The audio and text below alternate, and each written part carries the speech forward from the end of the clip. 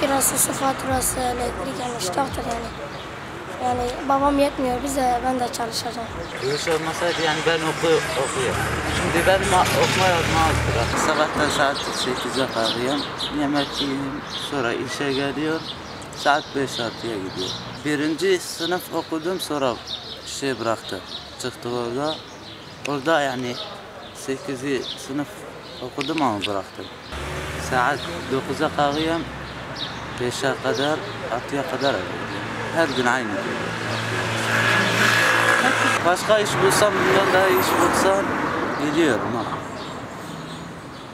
Yani belki be, temiz bir iş bulsam ben gidiyorum. Güzel kalmam. Güneş, bir de bu arabayı sürmesidir. Bazen ağır oluyor. Evet, çok zor oluyor. Ağır olduğunda yani sırtımız ağrıyor. Evet, yani isteriz tabii yani şey. Şimdi benim kadar hepsi çocuk evde oturmuş telefon ya okula gidiyor. Ama biz yani işe hepsi geliyoruz. Okulu bıraktık iş için.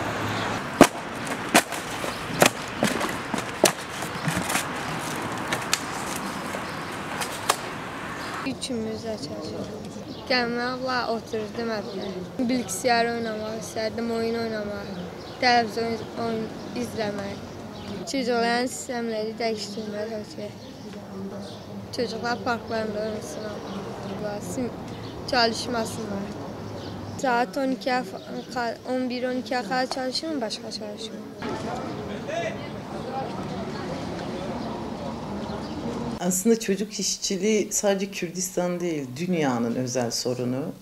Ee, ve maalesef hmm, çok etkin yasa ve politikalarla ancak giderilebilecek bir sorun. Fakat Kürdistan bağlamında değerlendirdiğimiz zaman burada etkin savaş politikalar sonucu Türkiye'nin diğer kentlerine oranla çocuk işçiliği maalesef bu bölgede çok daha fazla. E, TÜİK'in 2019 verilerine göre e, Türkiye'deki en yoksul kentlerden biri Diyarbakır. Kaçıncı sırada olduğunu hatırlamıyorum.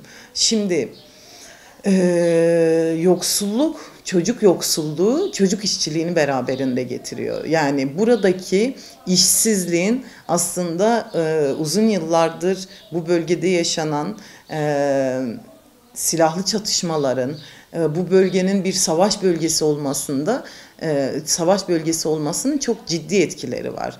E, Buralara yatırım yapılmamasının, işsizlik oranının bu kadar yüksek olmasının sebebi özel savaş politikalarıdır ve bu politikalar buradaki çocuk işçiliğini arttırır.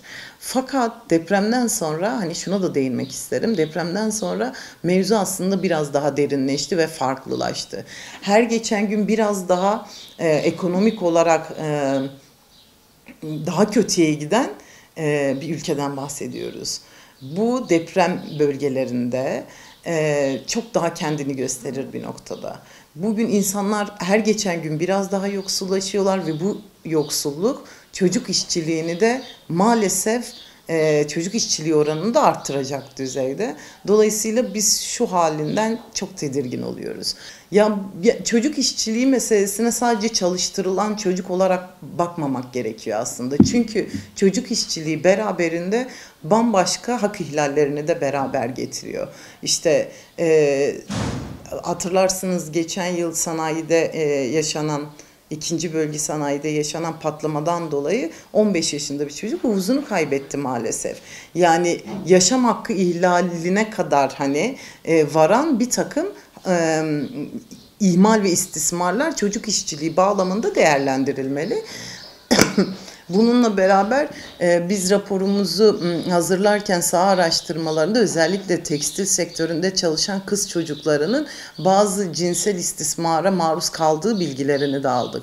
Dolayısıyla hani sadece çocuklar çalışıyor, eğitim hakkından işte yoksun kalıyorlar ya da işte o oyun hakkından yoksun kalıyorlar gibi dar bir e, çerçevede değil. Aslında çok bağlamlı ve çocukların tüm haklarını e, birlikte el, birlikte ele alınması gerekiyor bu meselenin. E, ne yapılması gerekiyor? Tabii ki de yine söylüyorum bu mevzunun e, korunması da önlenmesi de devletin sorumluluğundadır. Dolayısıyla çok etkin politikalarla, yasalarla ancak giderilebilir.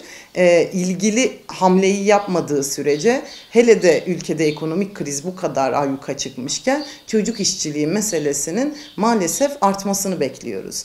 Biz de e, sadece bu alanda sadece çocuk işçiliği alanında çalışan tüm sivil toplum örgütleri de e, muhtemelen önümüzdeki dönemler e, çocuk işçiliğinin artmasına artmamasına yönelik neler yapabiliriz'i değerlendiriyor olacaklar.